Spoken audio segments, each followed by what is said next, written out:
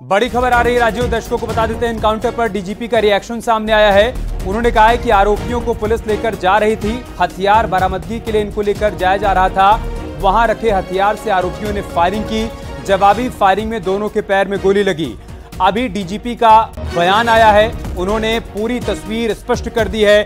बताया है कि इन सभी आरोपियों को पुलिस हथियार बरामदगी के लिए लेकर जा रही थी, और इसी दौरान जो हथियार वहाँ पर इन्होंने रखे थे उन्हीं हथियारों से पुलिस पर फायरिंग कर दी, जिसके बाद पुलिस ने जवाबी फायरिंग की और उस जवाबी फायरिंग में सरफराज और तालिब के पैर में गोली लगी।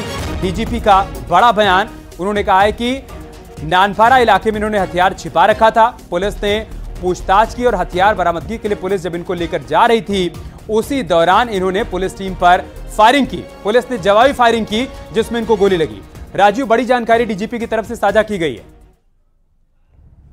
देखिए हुई है क्योंकि आरोपियों की गिरफ्तारी कुछ देर पहले की जा चुकी थी। उस दौरान जब पूछताछ की गई और इनसे आला कत्ल के बारे में पूछताछ की गई तो उन्होंने ये बताया कि जो आला कत्ल है, जो हत्या में हथियार प्रयुक्त किया गया था, उसको उन्होंने नानपारा के पास छिपाया था। जब पुलिस की टीम उन्हें आला कत्ल बरामद करने के लिए नानपारा के पास ले गई तो वहाँ पर रखे हथियारों से इन्होंने अचानक पुलिस टीम पर ही फायर कर दिया, जिसकी जवाबी कार्रवाई के दौरान जो मुख्य आरोपी है, सरफराज और दूसरा तालिब, उसके पैर पर पुलिस ने गोली चलाई, जिसके चलते वो गंभीर रूप से घायल हुए हालाँकि फ़िलहाल उनकी जो स्थिति है, वो खतरे से बाहर है। तो आप देख सकते हैं कि अगर डीजीपी का बयान की माने तो कितने ये सातिर और कितने बेअंदाज लोग हैं कि पुलिस की गिरफ्त में पुलिस पर फायरिंग करते हुए नज़र आ रहे हैं। और शायद यही बेअंदाजी का नतीजा था कि उन्होंने बिना किसी अकारण राम को सिर्फ़ झंडा लहराने पर गोली मार दी। तो कुल मिलाकर ये एक बड़ी कामयाबी बहराइच पुलिस को हाथ लगी है। इसके बाद अब पूछताछ की जाएगी और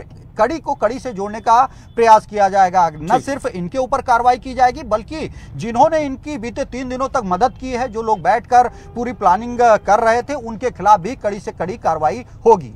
ठीक है राजू आप बने रहे हमारे साथ। बड़ी अपडेट और बड़ी जानकारी यही है कि पाँच आरोपियों को पुलिस ने गिरफ़्तार कर लिया है। इनमें से दो आरोपी सरफराज और तालिब के पैर में गोली लगी है। उनको अस्पताल में भर्ती करवाया गया है जहाँ उनका इलाज चल रहा है। बाकी तीन आरोपियों से पुलिस पूछताछ कर रही है। अभी तक जो जानकारी पुलिस की तरफ़ से साझा की गई, वो भी आपको बता देते हैं।